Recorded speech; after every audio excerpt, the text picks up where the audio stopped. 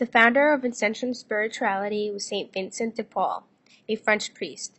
He was born on April 24, 1581, and died on September 27, 1660. He was born into a peasantry family and firsthand experienced a meager life. His mother was his inspiration to ground his work in a passionate love for the poor and those in need.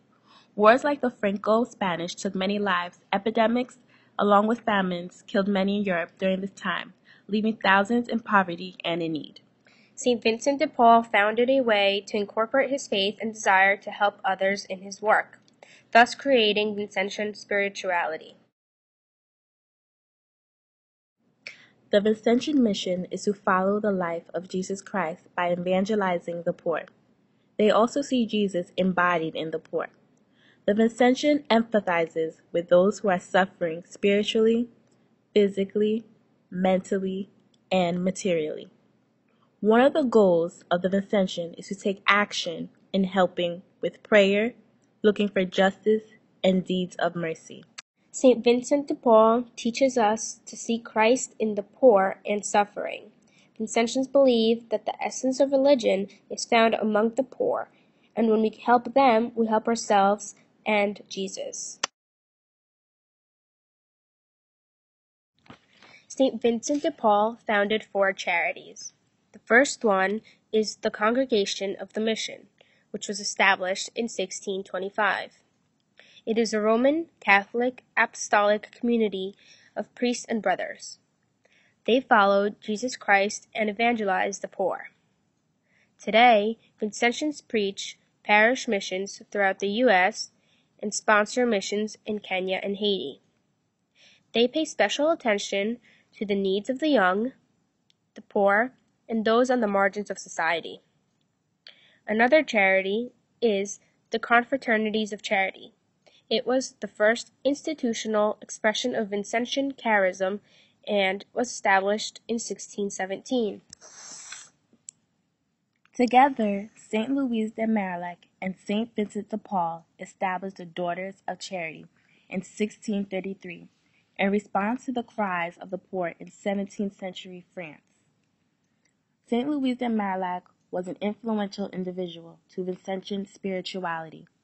She was born August 12, 1591, and died March 15, 1660. St. Louise de Marillac was born out of wedlock and raised in a convent.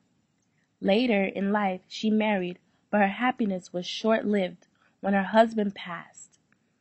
One day she had a vision in which she saw herself serving the poor and living the vows of religion in her community. Soon after, she met St. Vincent de Paul, and they created Daughters of Charity.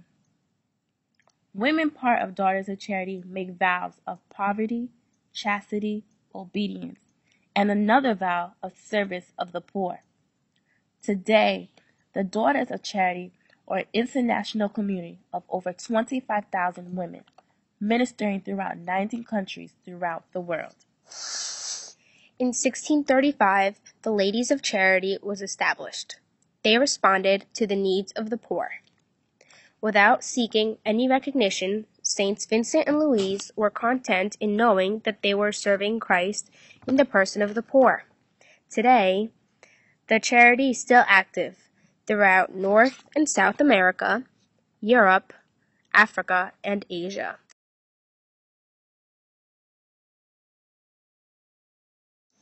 The three Vincentian universities are Niagara University, DePaul University, and St. John's.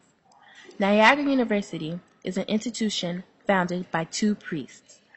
Niagara remains true to the Vincentian principles of preparing students for professional success while remaining committed to St. Vincent de Paul's values. DePaul is another institution committed to providing to all students, even the ones that cannot afford and teaching them the Vincentian way. As a Vincentian university, St. John's looks to St. Vincent de Paul for its vision and incentive. Throughout the year, St. John's gives students the opportunity to serve the needy, respect each other, and build human solidarity.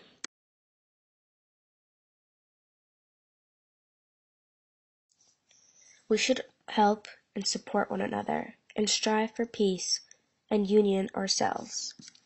This is the wine that cheers and strengthens travelers along this narrow path of Jesus Christ.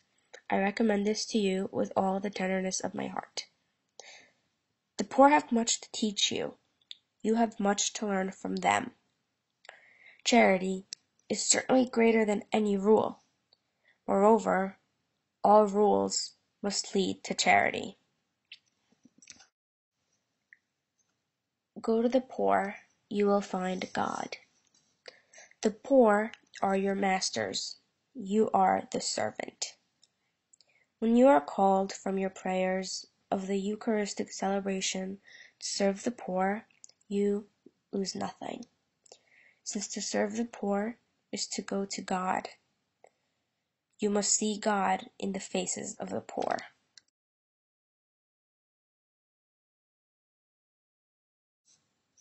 Love the poor. Honor them, my children, as you would honor Christ Himself. Be very gentle and courteous toward the poor. You know they are our masters, and we must love them tenderly and respect them very deeply. It does not suffice to have these truths rooted in our mind, we must display them in our gentle and charitable care.